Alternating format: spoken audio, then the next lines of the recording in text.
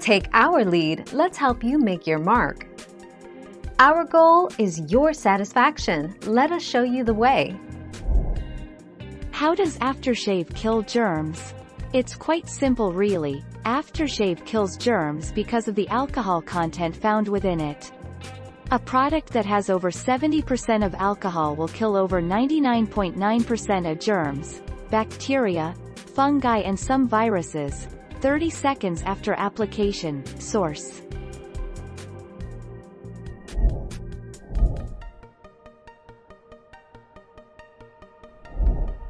Take our lead. As an emergency disinfectant as you may know, aftershave helps keep any cuts you get while shaving from getting infected. It does this thanks to alcohol and other naturally sterilizing ingredients like tea tree oil, which some people opt to use it as an emergency antiseptic. Point 2 February 2017.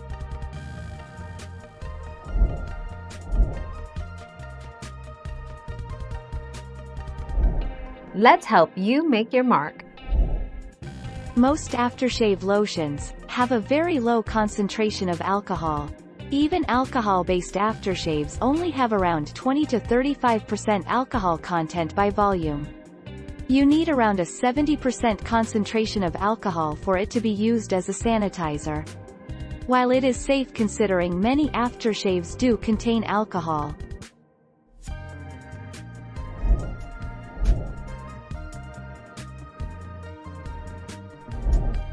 Take our lead. Shaving and hair removal can be a tedious chore. Hair always manages to grow back. You can minimize your personal grooming time by using an aftershave lotion that slows the regrowth of hair so you can get back a little time in your morning routine. 28 September 2017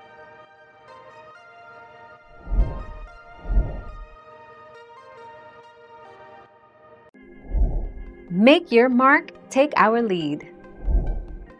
Aftershave has antibacterial properties that burn or sting when it comes into contact with nicks and cuts, or the new layers of skin exposed after shaving. It's killing the bacteria that could lead to future razor burn, but can cause a stinging sensation during application. 29 May 2018.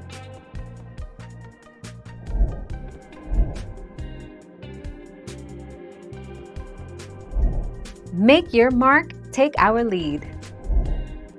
Reducing itching and swelling from skin damage and ingrown hairs. Closing pores to prevent bacteria, dirt, or chemicals from getting in, which can reduce breakouts, razor burn, or razor bumps, helping cuts from shaving heal quicker.